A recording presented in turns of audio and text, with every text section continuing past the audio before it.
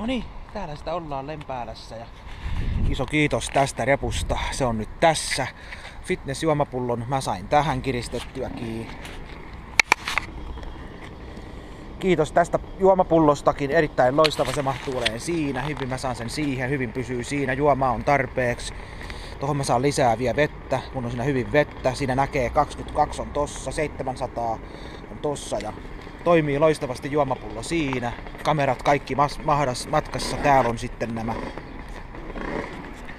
järkkäri on matkassa, pikkukamme, pikkupokkari, avaimet, kaikki ma- matkassa ja tämmöstä. Mahtuu hyvin repput selkä ja lähdin tällä toisella fillarilla.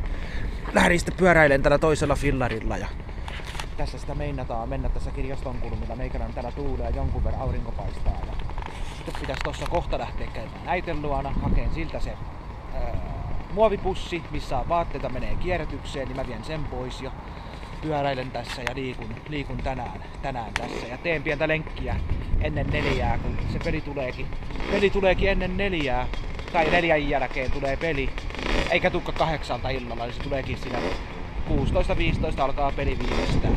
Sitä pitää päästä kotiin katteleen sitten Suomen peliä. Joo, tässä, tällaisessa paikassa meikäläinen nyt siikailee tässä ja voisin kohta, kohta lähteä kipaseen sinne pyöräileen sinne äiten luokse ja hakeen sieltä se pieni muovipussi. Lähdetään sinne päin tästä kohta pyöräileen ja tällaista.